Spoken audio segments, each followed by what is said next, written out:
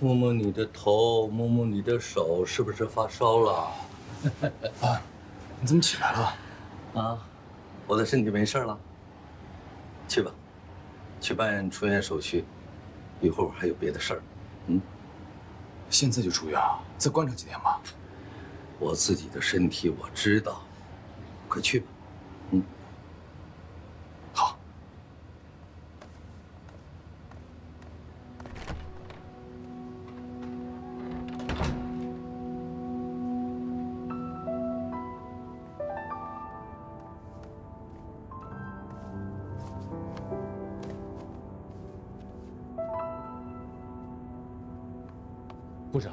我想问一下李医生去哪儿了？我有些情况想问问他。哦，他会诊去了，应该一会儿就回来了。要不你坐这儿等会儿吧。谢谢啊。嗯。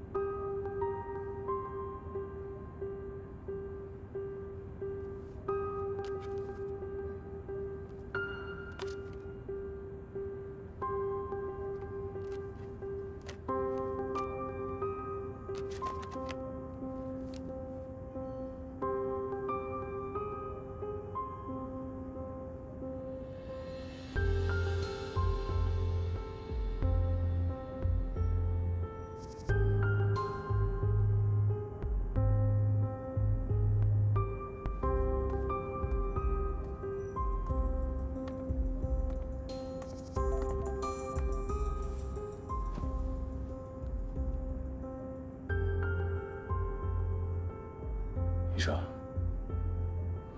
我爸的这个病，你爸的病是半年前发现的，发现的时候已经是中晚期了。我和一些专家也曾建议他到美国去治疗，因为美国拥有最先进的分子靶向治疗技术和最权威的专家。可当你爸听说治疗周期需要十二个月到十八个月的时候，他立刻就回绝了这个方案。那我爸的这个病能治好吗？这个我不好说，主要还看患者的自身心态。不过恕我直言，你爸的病发现的太晚了，所以希望不大。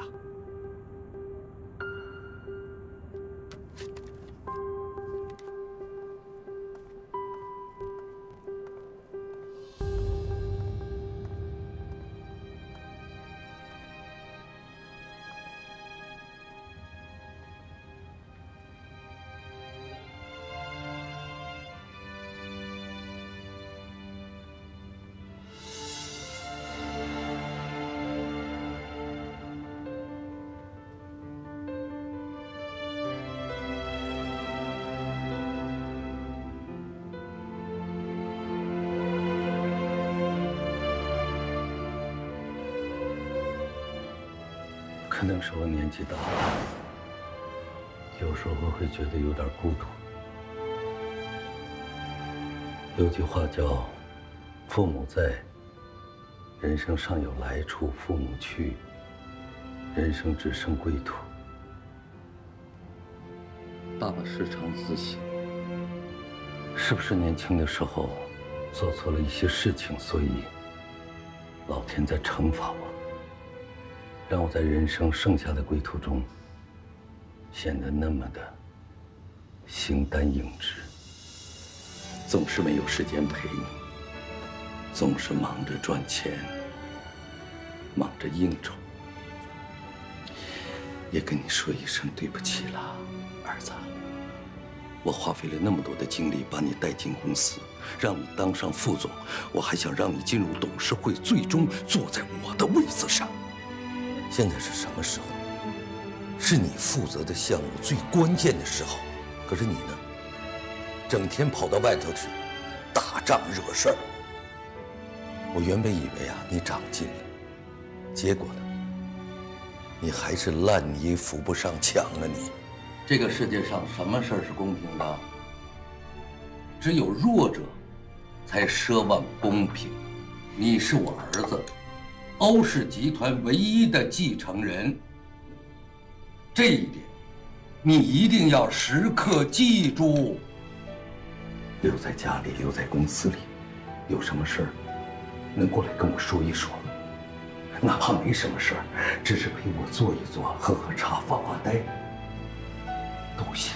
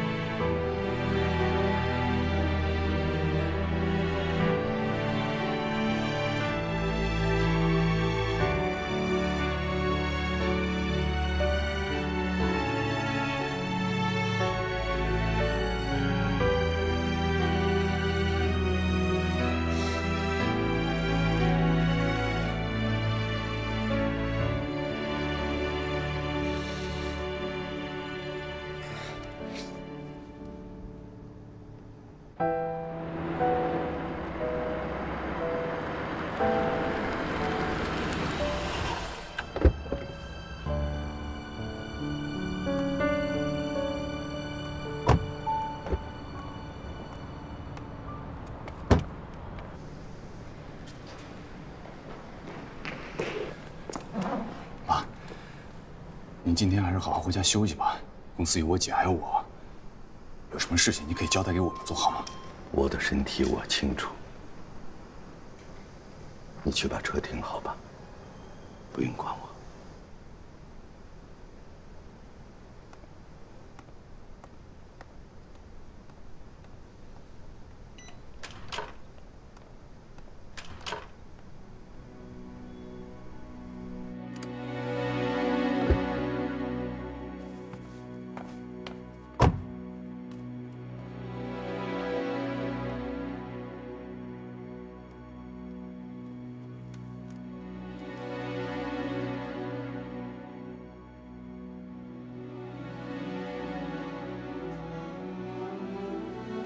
你在哪儿？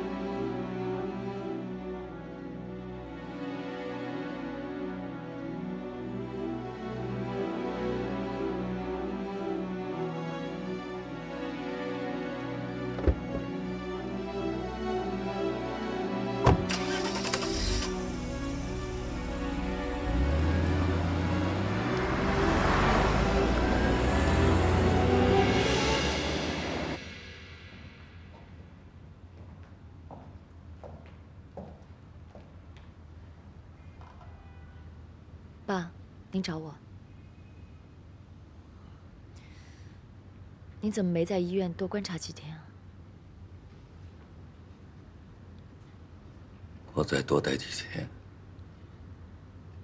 等你举办完了婚礼，我再出来。啊？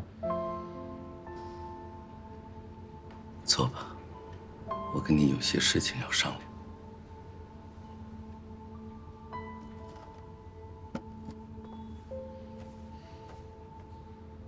你虽然不是我的亲生女儿，但我一直把你当成亲生女儿看待。作为父亲，最大的愿望就是希望自己的女儿幸福。我不同意你和陈哲，不是因为他的身世和背景，更重要的是，我怕他追求你的目的不纯。一旦你们结了婚，他露出狐狸尾巴。最受伤害的人是你，明白吗？爸，我知道您担心什么，但我请您放心，他不会这么对我的。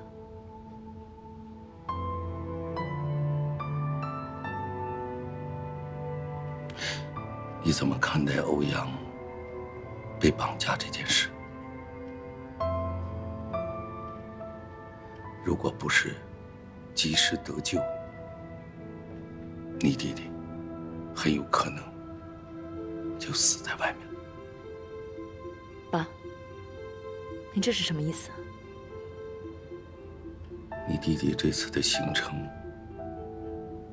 我只告诉了你，您这是在怀疑我吗？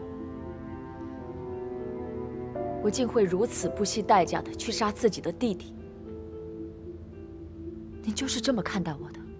小瑞啊，我只是在提醒你，当局者迷，你看不清楚。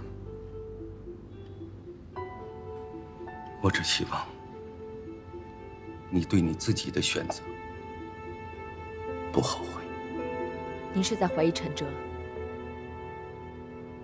我对天发誓，欧阳这次行程我根本就没有给陈哲看过。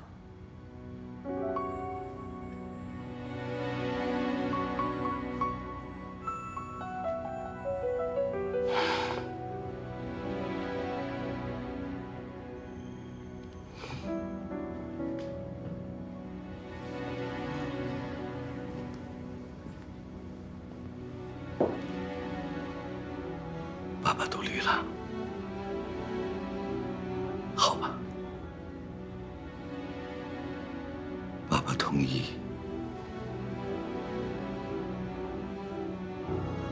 你和陈哲结婚，但我有个条件，下次股东大会上，你主动提出退出董事会。我同意。